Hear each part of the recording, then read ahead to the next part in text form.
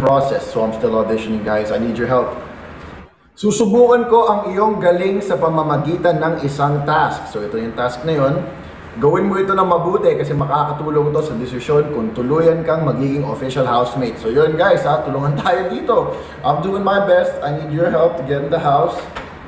Nais kong imbitahan mo ang mga tao sa social media platform mo na makipag platform mo na may pinakamalaking community of supporters. So that's my IG.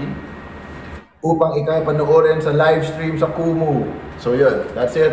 This is what we do in the live stream in Kumu. Y'all are helping me. I appreciate it. Much love. Mahal na mahal ko kayong lahat.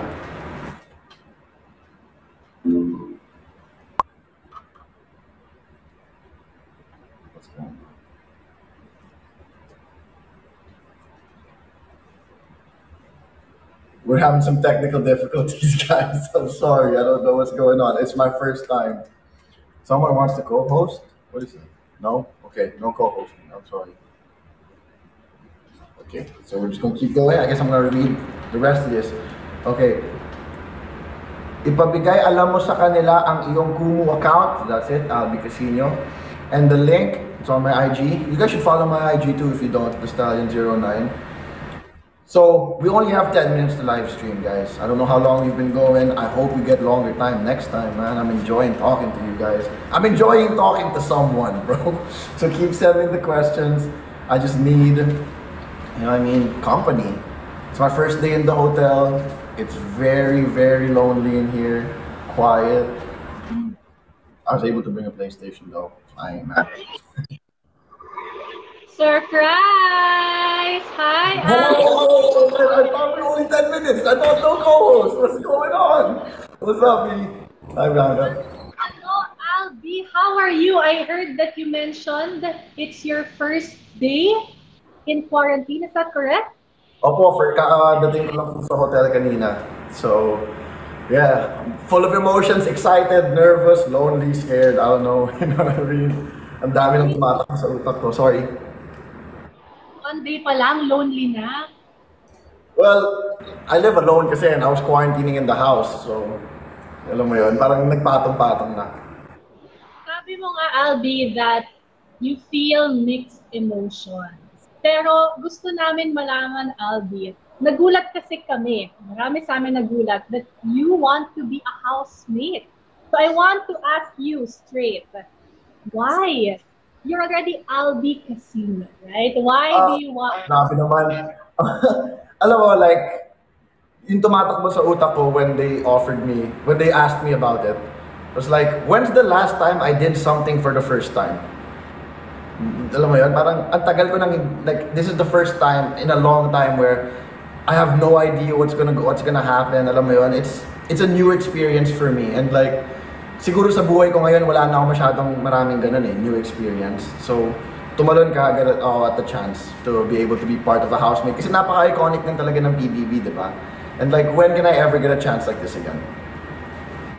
Wow, we are very, very excited for you, Albi. Pero tulad ng um, nakita ko kanina sa iyong stream, binasa mo yung letter ni Kuya. Maliban sa quarantine mo na kailangan mong kumpletuhin, you are still waiting for the result of your medical and psychological test. Kasi doon nakasalalay if you can really finally go inside Big Brother's house. Do you think na pumasa ka all clear ang iyong medical and psychological test? What do you think? Yung medical, wala akong takot. Yung psychological, yung medyo nakakatakot. Hindi, joke lang. But, feeling ko naman pasado sa lahat. Feeling mo pasado sa lahat. I'll be one day in quarantine. Let's see. Will you go back to the outside world or will you continue your quarantine? I'll be kumapit ka. I have very big news for you straight from Kuya.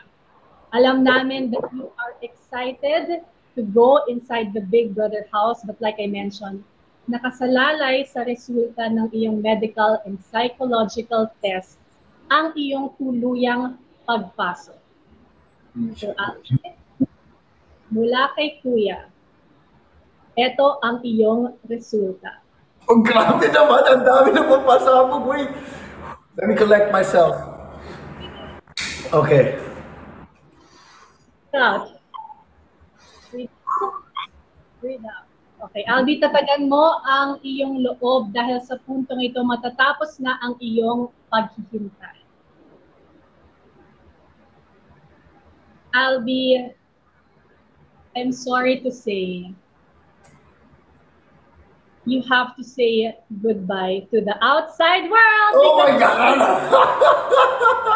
Yo, pinagpawisan ako ng sobra doon. That was not cool, bro. I was like, oh man, really? Really? Ang, ang dami kong inimpake para dito, para sa wala. Oh, grabe, Ah. Albi. I'm sorry. This is already the start of your roller coaster ride of being a housemate. Congratulations. We're very happy for you. Thank you. Thank you so much. Thank you to everyone who's here in the Kumu with us. You know what I mean? You guys helped me with my first task. Maraming maraming salamat. Ang dami ko ng halo-halo. Tataba na ako nito. Albi, I think you will have fun sa iyong experience sa Pinoy Big Brother. So, kompletuhin ang quarantine, kapit lang, and we will see you very, very soon. Sobrang excited ko na po. I'm excited to see you. Excited to see all the housemates. Thank you so much to everyone here in Kumu. Uh, I hope you guys continue to follow me when I live stream. I hope I wasn't too bad on my first time. You're doing good. You're doing good. Patuloy mo lang yan. Muli, Albi, congratulations! Thank you, thank you so much, thank you so much. Nagka-pimple pa ako, hassle, but it's all good. Hopefully, it's gone by the time I get inside. Bye! Bye, thank you.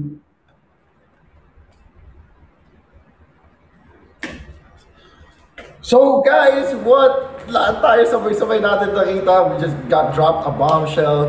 Officially, housemate na ako ni Kuya. I'm so excited. How about you guys? Are you guys excited to see me in the house? Like, come on, like, give me more questions, guys. Gusto ko pa ng kausap. Sobrang tagal ko nang walang kausap. Dami kong gifts, man. This is so cool. I like this. This is fun.